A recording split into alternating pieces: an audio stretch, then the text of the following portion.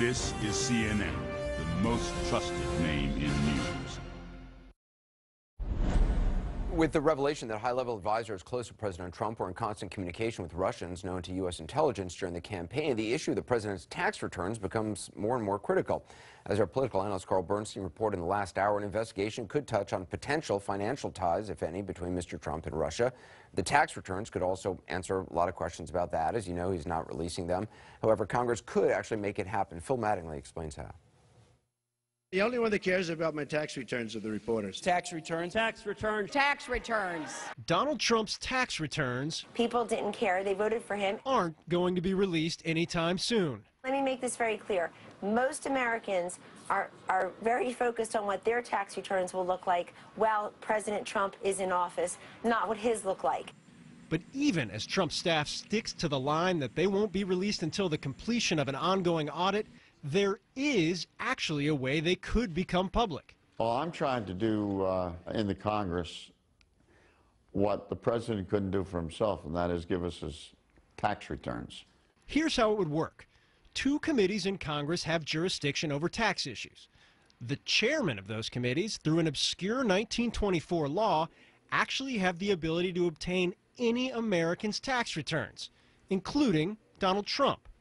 And they have the power to reveal that tax information for any American, including Donald Trump.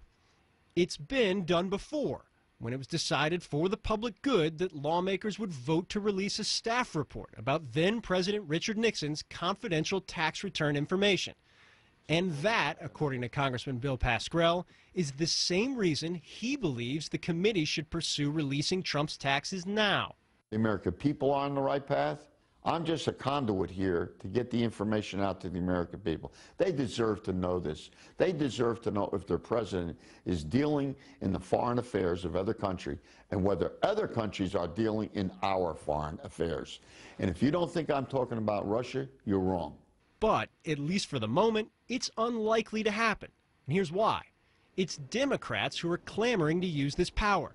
And Democrats don't control anything on Capitol Hill. That law directs us to look at tax administration, uh, only look at private uh, tax returns in the case of the tax administration. That is clearly not the case here. Congressman Kevin Brady chairs the House Ways and Means Committee and has pushed back hard on the idea that this lines up with the intent of the law at all. If you let Congress begin rummaging around for political purposes in the tax returns of the president, what stops them from doing it to everyday Americans? It, that would be an abuse of power. Brady's point despite Trump breaking nearly 40 years of precedent on candidates releasing their tax returns, there is no specific administrative reason that would force the committee to act.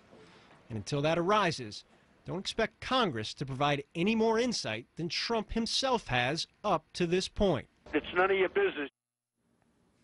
And Anderson, the question is, what happens next if Republicans aren't willing to go along with this? I asked Congressman Pascrell that, and he said, look, there's not necessarily a plan B, there's an expansion of plan A. He's in this for the long term, the long game, and he believes that every time kind of a new revelation comes out related to Donald Trump and his relationship with Russia or other foreign countries, that that could help build support for this. He said he's been talking to members on both sides of the aisle, he's been talking to his leadership, and it's worth noting, the Senate committee also has the power to do this. He's been talking to them as well. But he recognizes it is a long path forward, and as I noted in the piece, Chairman Brady, Kevin Brady, makes very clear he does not believe this lines up with the intent of the law, and until that changes, it's very unlikely, at least on the House side of things, it's going to change anytime soon. Yeah. Anderson? Phil Mattingly, Phil, thanks very much. Joining me now is former Labor Secretary and US, uh, UC Berkeley Professor of Public Policy, Robert Reich, author of Saving Capitalism for the Many, Not the Few, and with us again, CNN political commentator and Trump supporter, Jeffrey Lord. Secretary Reich, I mean, what do you make of this? Is this a step uh, that Congress should take, trying to obtain the president's tax returns? Uh, I do think it is a very important uh, step that Congress should take. Uh, and in terms of it being an administrative matter, I can't imagine a more important administrative matter than making sure that our president has not been engaged with a foreign power, in this case Russia, uh, in basically loading the election and, and turning the election to his favor. Now, I'm not saying that he's done that, but a lot of evidence is accumulating, Anderson, and every day that goes by, the distrust of the public grows. And I think one important step that Donald Trump has to make uh, is to disclose his taxes. Uh, in 2008, for example, Donald Trump Jr. told a real estate conference that Russia, Russian money is pouring into the Trump organization and that a disproportionate cross-section of their assets come from Russia.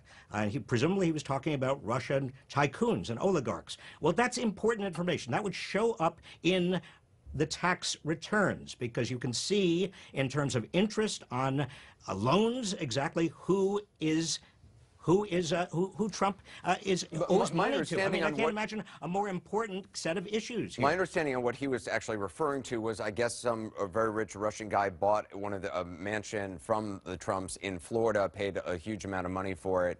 Um, my understanding that's what he was referring to, but again, we don't know for sure because we, we don't really know uh, the extent of any business dealings they may or may and, not. and we not need have. to know. I I mean, Anderson, if this were just an idle uh, kind of uh, question about, oh, wouldn't it be nice to have tax returns? It's too bad Donald Trump, for the you know, violated and broke the tradition for 40 years. That would be one thing. But we are in the midst of a potential constitutional crisis. There, there are pos- there's possibly treasonous behavior in terms of staff members, or perhaps Donald Trump himself, working with Russia and Russian operatives uh, to actually interfere in the United States 2016 presidential election on behalf